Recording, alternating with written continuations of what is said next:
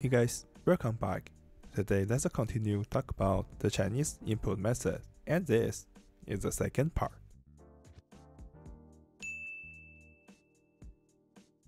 The first one is the pinyin and the zhuyin input method. Because basic education was popularized in the society, more and more people can learn how to read words in school from their childhood, and the pinyin education and the zhuyin education both are the most foremost way to teach children knowing the Chinese characters. Meanwhile, notice the pinyin and zhuyin also are the most common tools of reading and learning the pronunciation of the Chinese characters for almost every person, not only children but adults. So, for most people, the transformation between the pinyin or zhuyin and the characters have become more kind of intuition. So, under this mind, indeed, the pinyin input method and the zhuyin input method have been the most popular input methods that are used in the Chinese language world. Now, the first one which I'm going to share with you guys is the pinyin input method. Mainly, its users are from mainland China. For me, this is the most familiar input method, but technically, this is not my input method used usually. Technically, the input method that I'm using is the double pinyin input method, 双拼输入法. This is a variant of the pinyin input method. So, in order to distinguish the 拼音输入法 and the 双拼输入法，拼音输入法 also is called 全拼输入法, the full pinyin input method. By the way, the Japanese language also has its own double pinyin input method but technically it is a kind of double Lomaji, input method. The difference of the full pinyin and the double pinyin is that in the double pinyin we only use the two codes. The first code is shengmu and the second code is yunmu, the type of character. So now let's try to use both input method to type some words. And this time I'm going to use as a phrase as the example in the video. First of all, let's use the full pinyin input method. The pinyin of 中文输入法 is 中中文文输输入入发法 Not very hard, right? Then we also can input it quicker.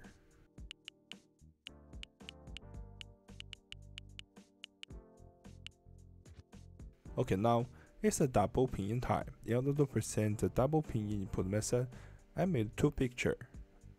We can try to type characters with the double pinyin. Still in this example, we must remember the input rule. First code is 声母 and the second code is 韵母. Okay, now let's try it. 中 is VS. 文 is WF. 书 is U U. Ru is R U. Fa is F A. Okay, now we finished it. If we type word by word quickly, it will look like this. VSWF UU RU FA. Okay, now let's try another word. 写汉字 is 汉语拼音 is 写写喝汉字字 So according to the picture, we can input x x h g z i. Okay, now we got this. It's not very complex, right? But it's just the help to remember the code position on the keyboard and the inputting rules. So if you guys remember the intro of the last video, yep, that's right. After that time, I used the double pinyin input method. The next is the Zhuyin input method. Mainly its users are from Taiwan. In fact, this is the same with the pinyin input method, but when we see the Zhuyin Fuhao list, it's totally different from the pinyin alphabet. So, is it really the same? Actually, the answer is yes. It's the same, just like this list. We can see the one-to-one correspondence between the Zhuyin Fuhao and the pinyin it's kind of like the kana and the romaji in Japanese. Okay now, let's try to use this input method. Still is the same example, but this time I type traditional characters. After all, this input method is from Taiwan, so the traditional Chinese is the default setting. Firstly, transform the characters to the Zhu Yin Fu Hao in our mind, just like this. 中文书入法。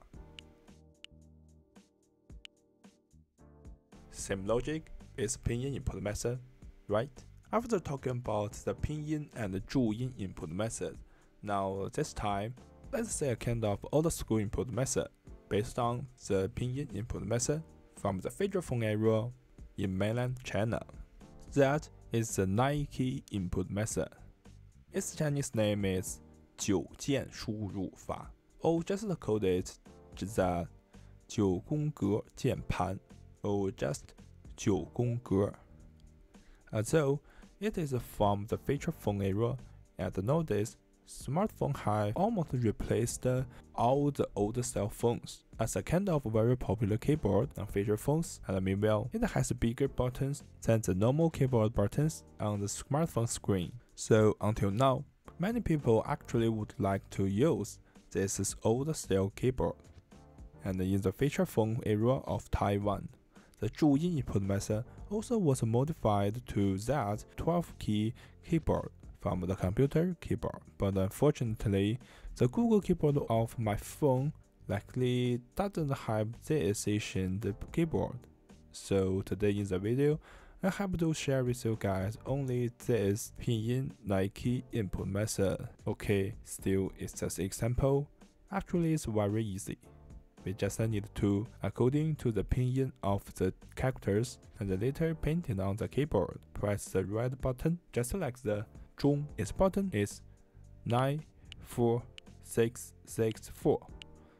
Then 文 is 936. Shu is 748. Ru is 78. Fa is 32. Okay, let's do it more fluidly. Input this word by word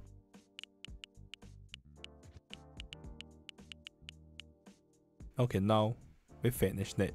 If you can adapt the keyboard layout of the double pin input method, you can even change the setting and use double pinyin on this 9-key keyboard.